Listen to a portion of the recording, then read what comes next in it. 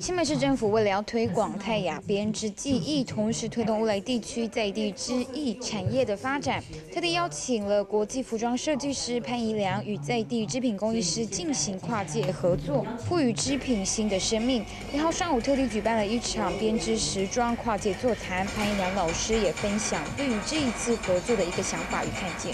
对设计师来说的话呢，每次的这个。有一个跨界合作，其实对这对我在创作来讲的话，它有时候会大家会相互有激情跟火花，哦，那那那个我我很珍惜像这样的一个点，所以为什么这次在呃这个跟太阳这个文化的这个结合的时候，我我很高兴，因为真的也是我第一次尝试，然后也是第一次来做这样的一个。合作。这一次，潘一良与在地工艺师合作设计了六套服饰，而这样的合作也让在地工艺老师们对于织品工艺作品有了新的想法，未来想要尝试更多的突破创新。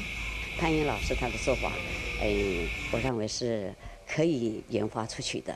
那当然，在传统的那个呃活动当中，譬如说文化季的时候，当然我们还是要穿我们这真正传统的衣服。但是在一般我们走出去。人家一看，哎，你这衣服好漂亮啊！当然，我就可以讲是这种泰雅的珠。我觉得这次合合作是相当相当的棒。除了共同合作的六套服饰，也有三十位在地编织工艺师所制作的二十四套创意服饰。一号晚间五点开始在乌来区举行服装秀，由专业模特儿以及泰雅族青年来诠释。原是新闻人史一顾新北市乌来采访报道。